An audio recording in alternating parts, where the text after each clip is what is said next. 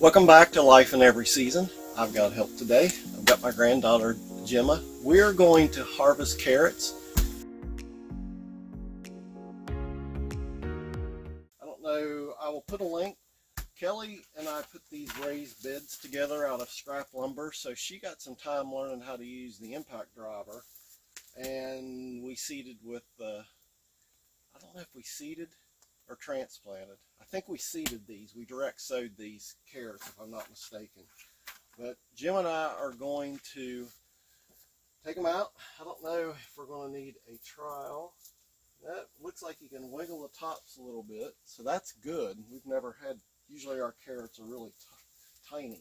So we'll put it on time lapse as we harvest, and then we're going to weigh them out.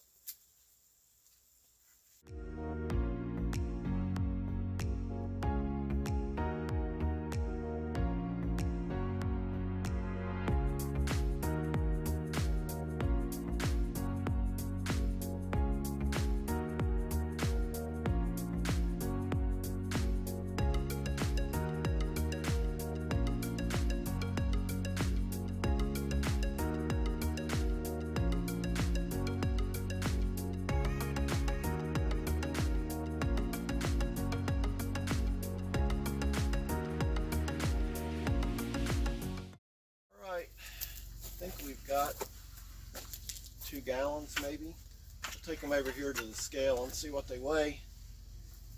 They smell good. All right, come around here, Jimmy. You read the scale for me. All right, I'll try to get out of the way. So we're just using the bathroom scale. Uh, 10.6 pounds. 10.6. So we didn't have to do a whole lot except water. We're going to store try to store some of these in our crawl space, which we're trying to use as a root cellar. So I did a little research, and we're just to take the best and biggest carrots, and we're going to put them in this plastic tub, and then use um, potting mix because it's sterile without any weed seeds. We're to slightly get it wet, not sloppy, muddy wet and we're going to layer of dirt, layer of carrots, single layer, another layer of dirt. So that's our plan to try to store carrots for so we don't have to use the refrigerator or anything else and see how that works for us. And then the, what we don't use in storage under the house, we will freeze dry. So, all right, Miss Gemma, let's use this row fabric and see if we can make us a spot to put dirt. Trying to get the right consistency on wet but not soggy wet. That's good. I think that'll do it.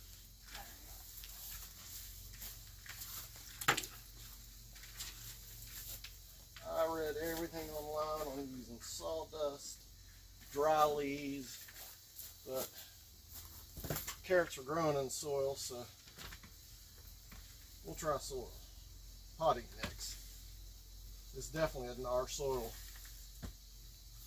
Those may not look like great carrots to you, but clay soil in Appalachia is really hard to get nice long carrots. So why don't you, I'll hand you some of the Let's just pick out some of the good ones, the long ones. We have a lot of them. Make sure, this one. Make sure they don't have any blemishes. So we're only trying to keep the ones that don't have blemishes. We've pulled the tops out. We'll try not to let them touch. So, all right, so we got the carrots pulled we're going to try, this is all an experiment. We know that's not a lot of carrots, but we're just trying to figure out, you know, before we grow 100 pounds, how to store them and how much room we need. Before we started, would you help me with? Um, the wiggle wire.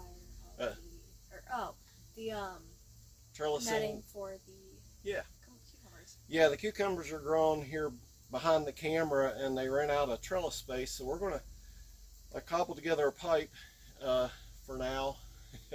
Have ideas how I want to do it later, but Um, we've got more of that plastic netting we've used before, so we're going to let the cucumbers to continue to grow up toward the center because they're already doing it on their own. I don't want to uh, pinch them back. But that got done. Carrots are done. We'll go in and wash these. I don't know how I will dice or slice or how for the Harvest Right, but we'll figure that out. We'll let Miss Kelly tell us how to do that. But thank you for joining us. I hope some of this is informative. It'll be more informative after we tell you how long the carrots last, I think. Um, so we will see you on the next one. Appreciate if you like and subscribe if you have time. We appreciate that. Bye.